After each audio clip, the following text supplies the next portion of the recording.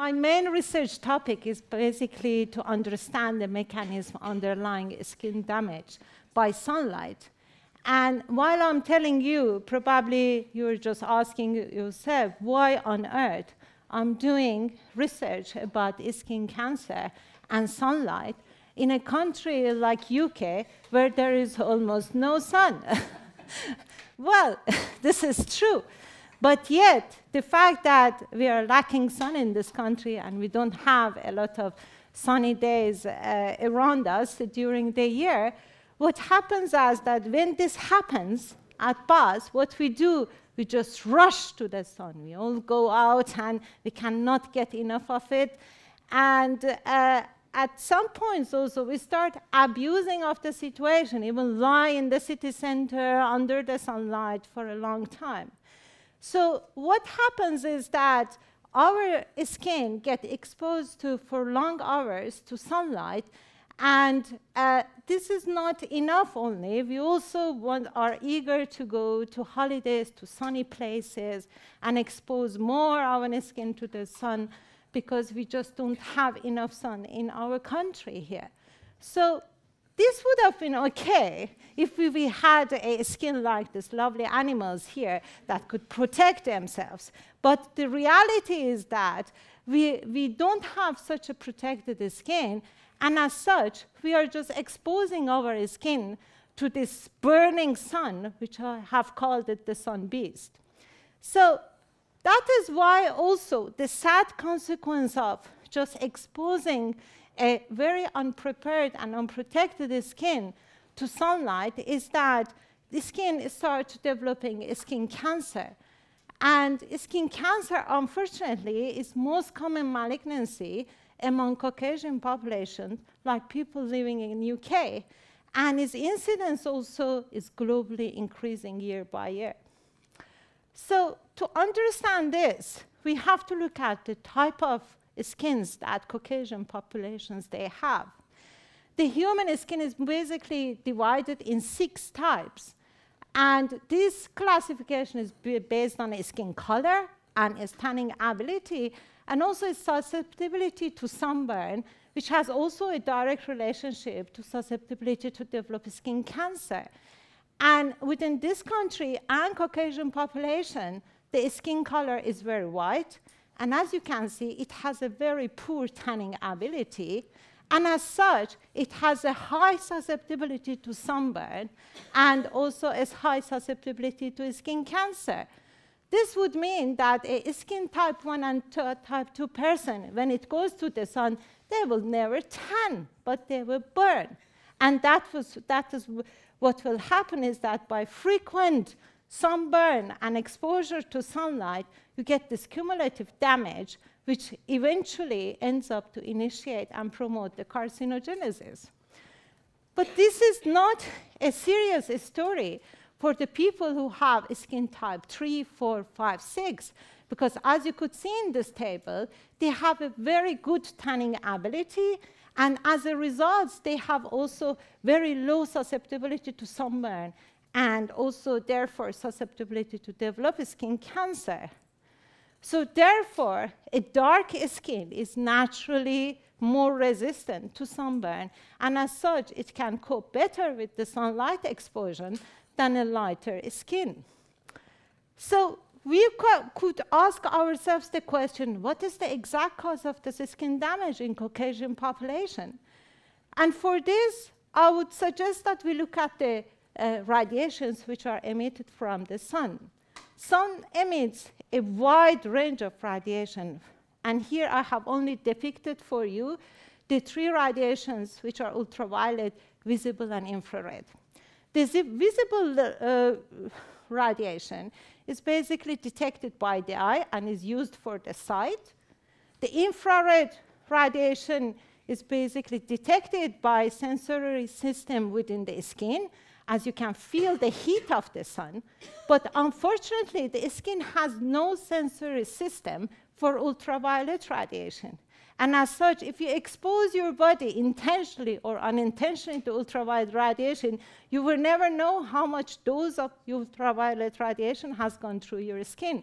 And that is what is the danger of the sunlight for us. The ultraviolet radiation is divided into three Uh, uh, subgroups. These are UVC, UVB, and UVA. UVC and the majority of UVB are basically cut off by the ozone layer in the stratosphere. So the only UV, UV radiation that basically reach the surface of Earth are UVB and UVA. And looking at the proportion of this uh, UV radiation that reach the surface of Earth, you can see that basically sun is primarily a source of UVA. Now, UVA, unfortunately, itself is known to be a powerful carcinogen. And why UVA is a powerful carcinogen?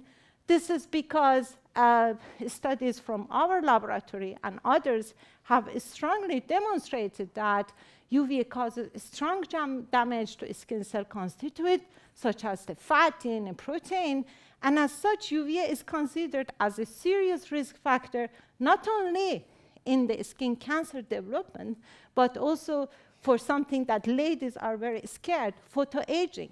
So uh, why UVA is particularly damaging, it's also the fact that if you look at the skin section, you will see that actually UVA penetrates much, much deeper in the skin than UVB, which is a shorter wavelength.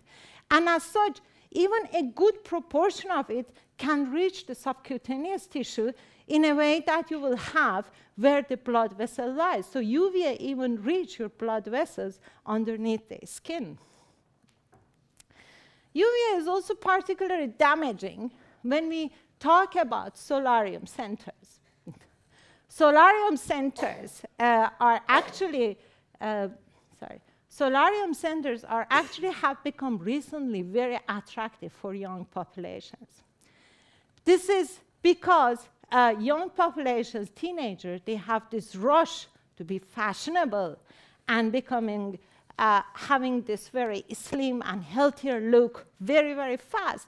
And what do they do? In millions of them, they go every day to sun tanning salons to look like this. and uh, they have this very bad perception and culture within their, the young population which are developing is that tanned skin is a beautiful skin. So I want to become beautiful. So more tanned I am, more beautiful I am. Uh, and as such, what they do, they unexpose their un unprotected and unprepared skin for uh, hours and hours uh, under the sunning lamps without knowing that the 95% of the output of a sun tanning lamp is actually UVA. So they are exposing themselves to UVA, basically. And sun tanning lamps are now recognized as one of the most dangerous cancer-causing agents. And because of that, uh, the authorities in UK and also other countries have recently limited the age of going to solariums to 18. But this is, still not enough because what is happening is that, uh, as you can see, is still using a sun tanning bed before the age of 35 increase highly the risk of developing skin cancer by 90%. So I would like to tell to these populations who go to some, some tanning beds that tanned skin is not a beautiful skin, it's actually damaged skin. And there is no such things as a safe tan. So pe when people ask me, oh, how can I get tanned and not damaged? I said, well, what you can do is you can go and use these artificial sun tanning creams as long as you don't mind the smell and you don't want to glow like a carrot in the dark. so that is as much of an answer that I can come with them. So, um, and my advice for such people is that if I would approach a sun tanning lamp, I would approach it the same way I approach my UVA lamp in the laboratory with a full face mask and a covered body. So I will definitely will not lie half naked under that lamp for sure. so Uh, and this is also something that my, my dear friend here has found as, as a photo. And here I think this is a point there that they might to look tanning as casual as buying an ice cream. And this is what is dangerous, really. Coming back to the outdoor, uh, the proportion of UVB and UVA during the day are very different. And I would like to pass on here a message that UVB is highest in the sky uh, uh, during the noon, for example, but the proportion of UVA and the maximum amount of UVA radiation in the sunlight is either in the early morning and late afternoon. And these things will coincide, for example, in a sunny day morning, you go having your coffee and breakfast on a sunny terrace and taking the sun, thinking that the sun at this moment is not very strong. And what happens is that at that moment, UVA is the maximum. Or in the late afternoon, you are in the beach in a holiday, and suddenly you feel that, oh, it seems like that sun is not strong enough. Oh, let's go to a terrace and have a cocktail. So you all go and sit in a terrace and continue to get irradiation of sun and having your cocktail. And at the same time, you don't know that at that time, you need a good sun protection because UVA is maximum. So these are the things that I think we should think about it. So my advice is that at all time, you have to get proper protection against both UVA and UVB component of sunlight. And for this, obviously, you would need sun lotion or sun cream to protect yourself. And even paintings need some protection. As you can see here, uh, inspiration of you know, some protection by some of painters. Now what I would like to share with you is my perception of this gender difference to sunlight protection. There is a kind of a trend all over the world. A lady is much more willing to go and put cream and protect themselves than gentlemen because somehow they feel that they are invincible against sunlight. and as such, they will go even through all sorts of unconventional and inefficient way of protecting themselves from the sunlight just not to put sun cream. And this is the photo of my dear partner sitting here in the audience. and what will happen with that is the consequence of it that next day, if you don't have a proper protection, you will get a horrible sunburn. You will have a very bad night not sleeping. The next day you will look itchy, and if you have exaggerated too much, you will have, an, in a few days, you will have a peeled skin. And at this moment is only the gentleman thinks, well, maybe next time when I go, I might put a bit of sun cream on my body. so that is what. So my advice to all the gentlemen is that perhaps we need a change of attitude with gentlemen too. Maybe you should also protect you, yourself by putting some sun sprays and some sun creams and even, you know, put some protective clothes for yourself. Why not? Another thing is that is a fact, and I would like to emphasize because I think it's important to know, and, and we just underestimate is that, that a child needs much more effective protection than an adult. Because there is now a causal relationship that has been identified between the level of prolonged unprotected uh, exposure of a child to the sunlight and the development of skin cancer in early young adulthood. So this is something that I would like to pass on as a message. And the other thing is also that as age difference is also important in some protection in terms of elderly, elderly, they will more susceptible to sunlight uh, than the, uh, much younger populations. Now, if you ask me, when I go to buy a sun cream um, in, in, a store, how, how would I buy a sun cream that will protect myself? I will have these three criteria that I will pay attention. I will make sure that my sun cream will have a broad spectrum protection against both UV and UVB. I will make sure that the sun protection factor of the sun lotion is at least between 30 and 50 to mop up 98% of UV. And also, I will make sure that it has a proper high UV index label.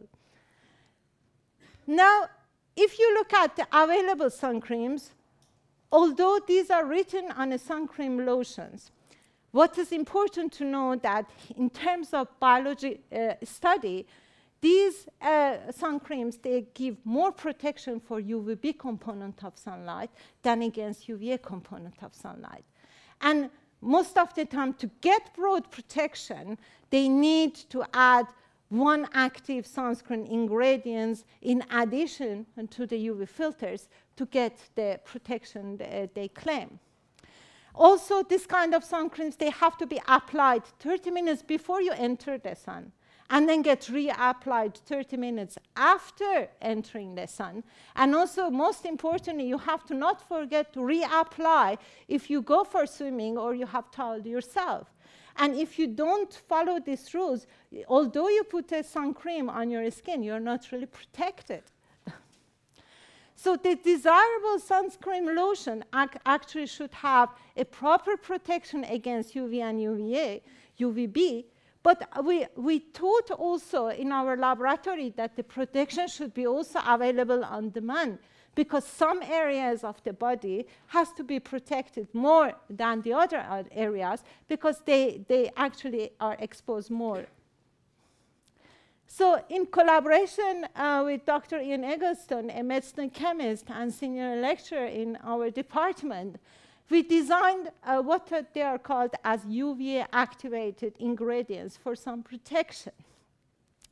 These compounds uh, are interesting because they would provide the optimal on-demand protection against UVA. So what does it mean is that you can apply this cream at your own time, whenever, even the day before if you want. You go to the sunlight, and these ingredients will stay inactive in your skin unless you are exposed to a harmful dose of sunlight. And only the, uh, at this very real time that these ingredients will be activated and therefore in the real time and in the right time and in the right place will, uh, will take care of the damage and protect you. And this kind of ingredients can be either applied as a daily skincare, every day, you know, moisturizers that you put, you can put it there. Or if you want, you can also add it uh, as an ingredient in sunscreens. So the idea of this UV active protection will be that you will look like these ladies, you know, you will have a protection at all time. And, uh, uh, and wherever that you will get a dose of sunlight that which, ca which can be damaging for you, then what will happen is that when and where these uh, uh, ingredients will be activated in your skin and protect you. These are uh, all the teams of my group and Dr. Eggleston who have contributed to design and study of uh, such an ingredients. On the top you will see uh, Dr. Eggleston, and uh, uh Dr. Roger Dundee, Mr. Kunal Tiwari, which is a PhD student uh, with me and Dr. Eggleston, and Dr. Benjamin Young, who has done a lot of synthesis of these compounds. And here in my group, we have Dr. Olivia Reelfs, who is a senior uh, research fellow who has done most of the uh, in vivo studies of these um, uh, ingredients, and as well as Dr. Tina Radka, my postdoc, and my postgraduate student Sharare Hushmandiar, another Sharare, but this time with S, and also uh, Dr. Asma Aron, who has left recently my laboratory. Thank you very much.